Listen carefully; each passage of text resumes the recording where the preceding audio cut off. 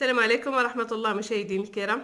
تنتمنى تكونوا في أحسن الأحوال إن شاء الله. مرحبا بكم معايا ترحب بكم وتنشكركم على التعليقات ديالكم الرائعة وعلى المتابعة. شكرا لكم. وكنرحب بالناس الجدد معايا مرحبا بكم معايا اليوم كما تشوفوا بغيت نشارك معكم الكورجيت أو القرعة خضراء في الفرن لتشجيع هائله وسهله في التحضير. بسم الله على بركة الله ندوز معكم لطريقة التحضير.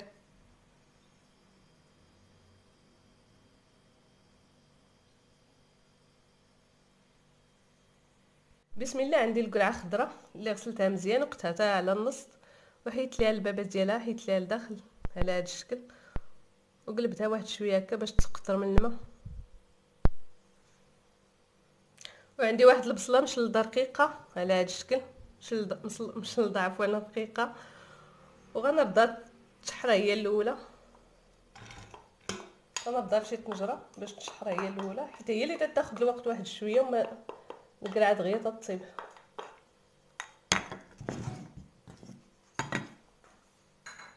وغنزيد ليها واحد شوية نتاع زيت الزيتون. وغنبدا فوق النار مايلة حتى تطيح مزيان حتى تشحر مزيان. وتنبدا فوق النار وتنقص عليها العافية حتى تطيح مزيان.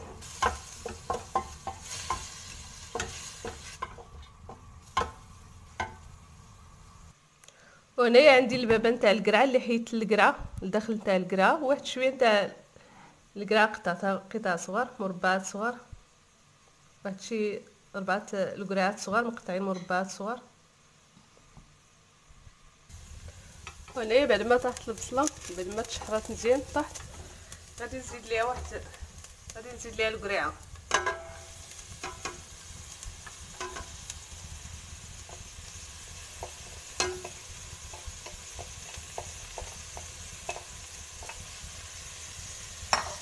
نزيد ليها القريعة البابه تاع القريعة.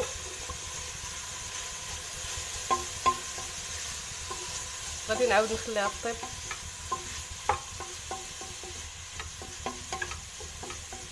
تنخليها بزاف تطيح مزيان تتشحر مزيان حيت القريعة ما تتاخذش الوقت في الطياب دغيا تطيب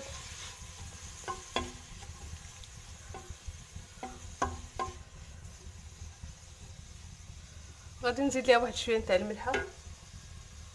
وشويه تاع التحميرة.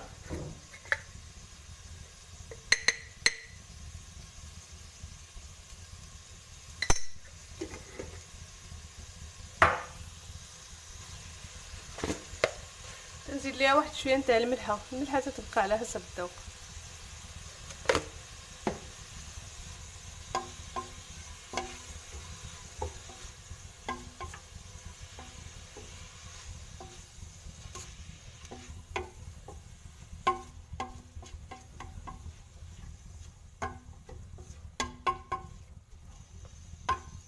تنقص عليها ونخليها طيب ومن بعد غنزيد ثلاثة الفرماجات مثلتين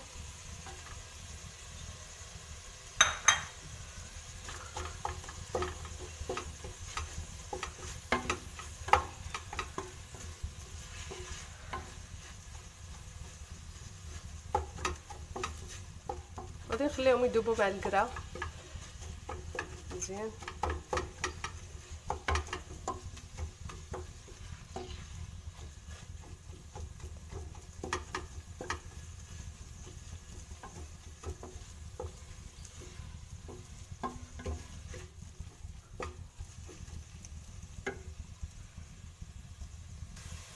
وغادي نحك عليها واحد شوية نتاع الزعتر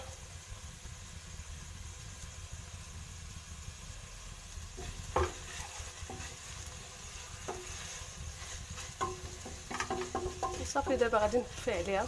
ملي تشوفوا راه طاب. القريعه دغيا تطيب.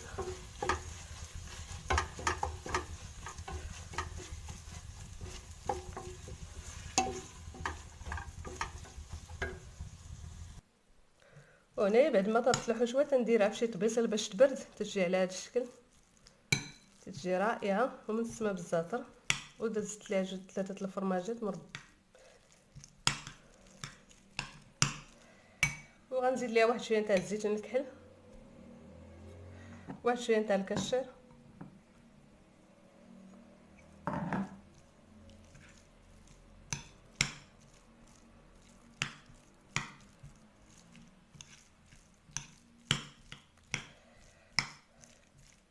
تنجنسهم مزيان مع تنجنس الحشوة مع الزيتون والكشير على هذا الشكل.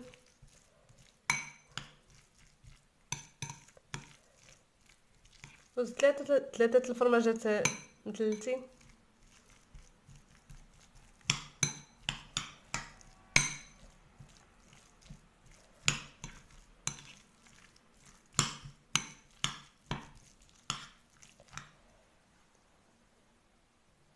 وعندي جوج مطيشات معسلين مع شوية تاع الاوراق نتاع الريحان معسلين بلا سكر. وغنديرهم في لاطه الفران.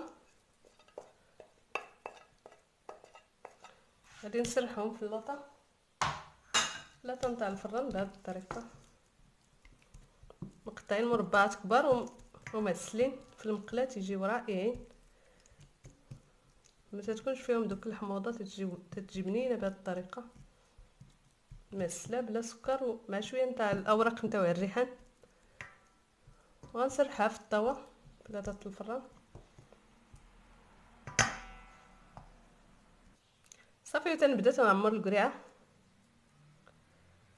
بهذه الطريقة وتنحطها فوق لاصوص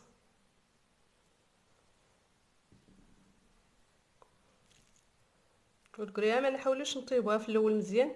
تنطيبوها غير نص طيبة غير واحد الشويك وتنحيدو ليها الحشوة.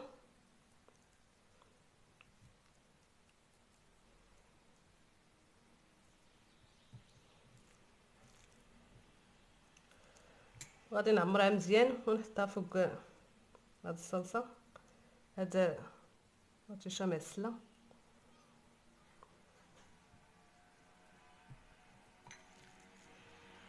معسله المطيشه تتجي رائعه بهذه الطريقة تتجي معسله وما تكونش فيها الحموضة تجي بنينه وبلا سكر تنعسلوها بلا سكر.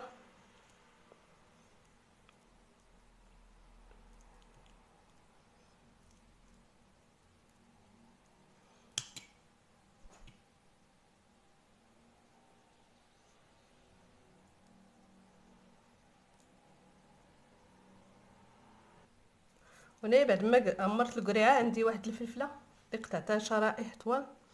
وغنزين بها هاد القريعة بهاد الطريقة.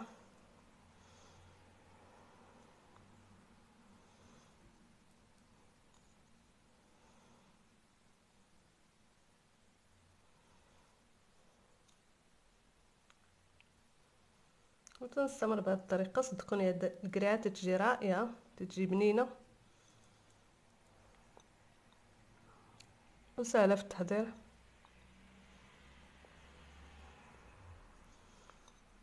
تنستمر بهذه الطريقة. تنزينها بالفلفلة اللي قطعتها شرائح طوال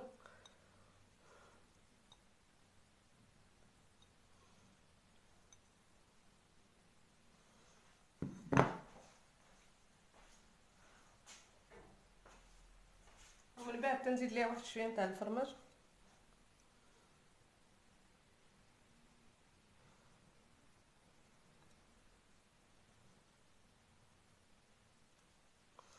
وغادي ندخلها للفران ما تاخذش الوقت بزاف حيت كلشي طيب. دغيا غادي نخرجها. غير تسخن شوية مع الفرماج ونخرجها. تجي على هذا الشكل تجي رائعة.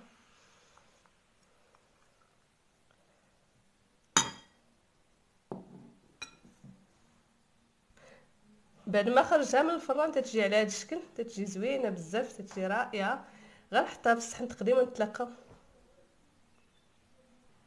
تنقدموه بهذه الطريقة وتنرفقوا بواحد شوية تاع الجبن تيجي معاه رائع. هذه هي الوصفة ديالنا نتاع اليوم. تنتمنى تنال إعجابكم مشاهدينا الكرام وتنعاود نزيد عليها واحد شوية تاع زيت الزيتون. تتجي رائعة وسهلة في التحضير تتجي بنينة بزاف. تنتمنى تنال إعجابكم. وإلى فيديو مقبل إن شاء الله. والسلام عليكم ورحمة الله. وما تنساوش تشتركوا في القناة ودعموني بدلايك إلى عجبتكم. وإلى فيديو مقبل إن شاء الله. والسلام عليكم ورحمة الله.